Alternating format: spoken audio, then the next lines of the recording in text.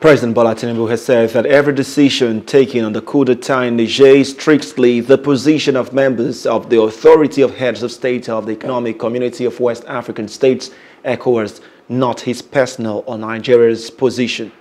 The Nigerian leader, who is also the chairman of the ECOWAS Authority of Heads of State, added that a seven-day ultimatum and other resolutions is a regional, not a national position.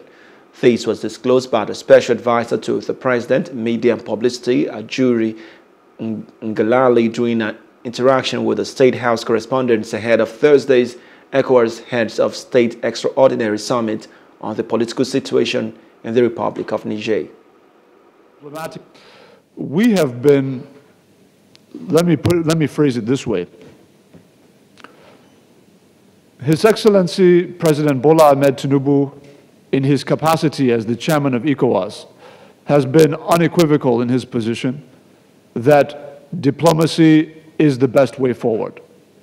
Uh, he and the, he, in representing the consensus position of the ECOWAS heads of state, uh, he has communicated clearly that he, along with his colleagues in the, in the bloc, uh, would prefer a resolution that was obtained through diplomatic means, through peaceful means, uh, rather than any other. And that will uh, be a position that uh, is maintained uh, going forward, uh, pending any other resolution that may or may not result from the ECOWAS Extraordinary Summit holding on Thursday.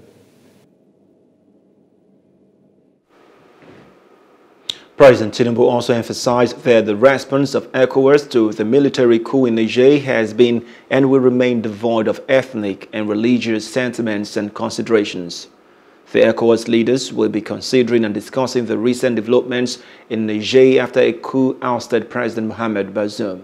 Hello, hope you enjoyed the news. Please do subscribe to our YouTube channel and don't forget to hit the notification button so you get notified about fresh news updates.